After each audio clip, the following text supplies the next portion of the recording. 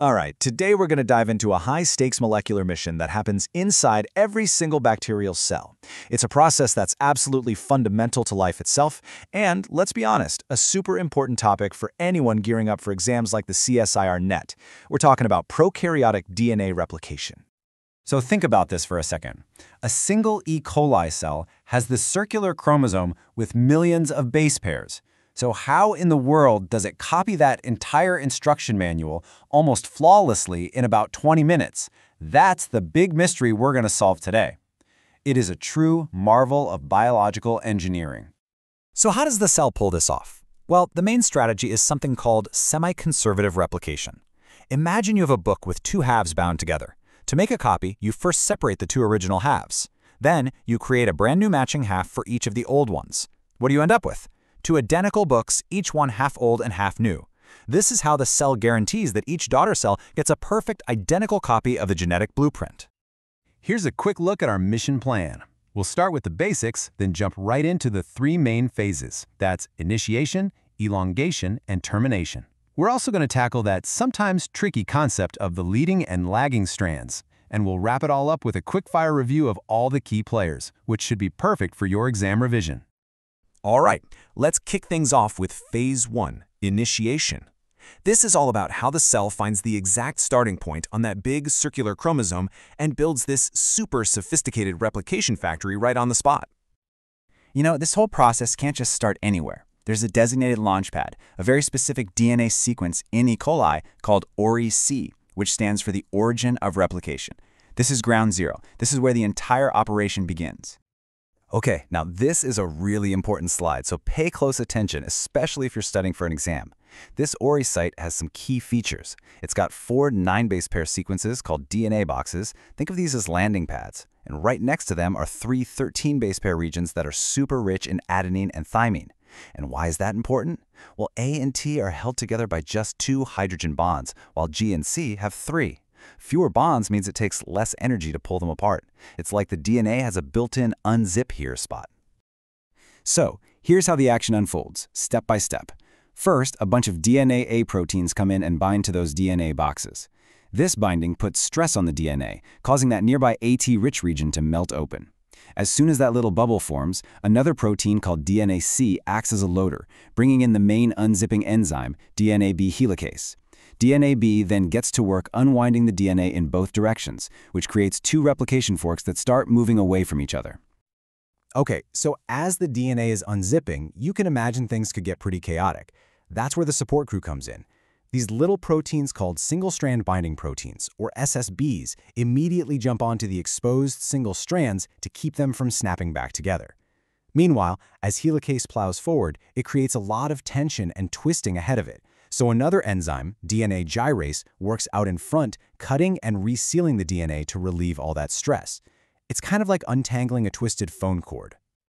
All right, the stage is set, the machinery is in place, and the track is clear. Let's move on to phase two, elongation. This is the main event, the actual synthesis of the new DNA strands. And the star of this phase is a massive enzyme complex called the DNA polymerase III holoenzyme. Now, holoenzyme is just a fancy way of saying the whole, complete, ready-to-work machine. This is our master builder. Its job is to read the original template strand and add the correct new nucleotides one by one at an absolutely incredible speed. Now, DNA polymerase III is a real stickler for the rules. It has a strict sense of direction. It always reads the template from the 3' to the 5' end, which means it builds the new strand from 5' to 3'. And maybe its most critical feature is its proofreading ability. As it adds each new base, it double-checks its work. If it makes a mistake, it backs up and fixes it immediately. This is just incredible. It brings the error rate way down, from about one mistake in 100,000 to less than one in 10 million. That's what we mean by high-fidelity replication. Okay, so this next part is where things can get a little tricky, but stick with me, because this is a classic exam topic. The two strands of the DNA double helix run in opposite directions. They're anti-parallel. And since DNA poly 3 can only build in one direction, the cell has to use two different strategies to copy both strands at the same time. Let's break it down side by side. On one hand, you've got the leading strand. This one's the easy one. It's synthesized in one long, continuous piece, and it moves right towards the replication fork. It only needs one little RNA primer to get started. But the other strand, the lagging strand, is synthesized away from the fork. This means it has to be made in a bunch of short, disconnected pieces called Okazaki fragments, and each one of these little fragments needs its very own RNA primer. So we have all these little Okazaki fragments on the lagging strand. What happens next? We can't just leave them like that, right? They need to be stitched together into one continuous strand. This is a three-step cleanup process. First, enzymes like RNase H and another polymerase, DNA polymerase I, come in and remove all those RNA primers. Then DNA polymerase I fills in the gaps with the proper DNA nucleotides. And finally, an enzyme called DNA ligase acts like molecular glue, sealing the final little nick in the backbone. Okay, we've initiated, we've elongated, we are in the home stretch now. It's time for the final phase, termination. This is where the whole process comes to a halt, and the cell makes sure it has two separate complete chromosomes ready for division. You might be wondering, how does it know when to stop? Well, it's not random. The E. coli chromosome has these built-in stop signs called termination, or TER sequences. A protein called TUS binds to these TER sites and acts like a one-way gate. It lets the replication fork go through in one direction, but blocks it from the other, essentially trapping the forks and forcing them to meet in a specific region. But wait, even after all that, there's one last puzzle to solve.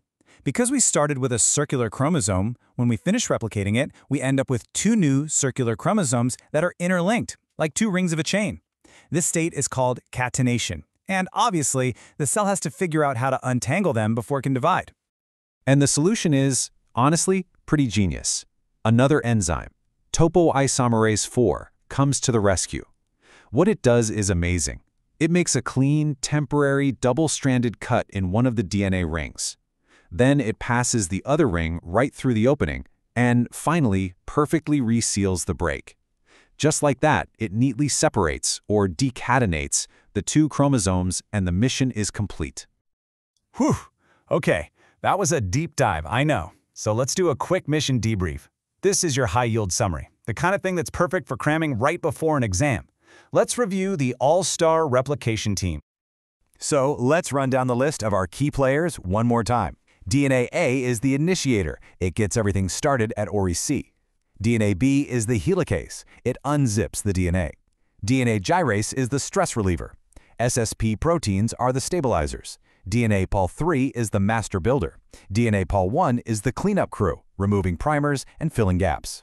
DNA ligase is the glue that seals the nicks. And finally, topoisomerase 4 is the separator that untangles the final product. Every single one has a vital role to play. So what we've just walked through is this incredibly beautiful, efficient system that works perfectly for a simple circular chromosome. But it really makes you wonder, right? How does life take these fundamental principles, the unzipping, the building, the proofreading, and scale them up to handle the massive complexity of the multiple linear chromosomes that you find in eukaryotes, like in our own cells? Well, that's a whole other mission for another day.